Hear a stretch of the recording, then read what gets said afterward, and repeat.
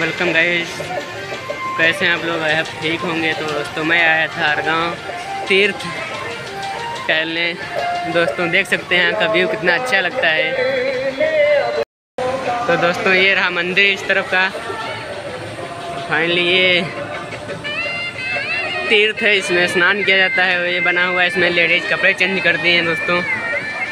तो यहाँ दोस्तों, डे में तो इतना अच्छा नहीं लगता, बट नाइट में तीर्थ में बहुत अच्छा लगता है। तो दोस्तों, इस तीर्थ में लोग कहते हैं, बीच में एक कुआँ है जो डायरेक्ट नैमिशरण से जुड़ा हुआ है। दोस्तों, मैंने चक देखा नहीं है, बट सूख जाता तो कुआँ दिखाई पड़ने लगता है। दोस्तों, यहाँ का व्यू बहुत अच्छा ही लगता है। साथ में डेवा भी आए थे टहलने। डेवा, ये कौन है? कौन है डेवा?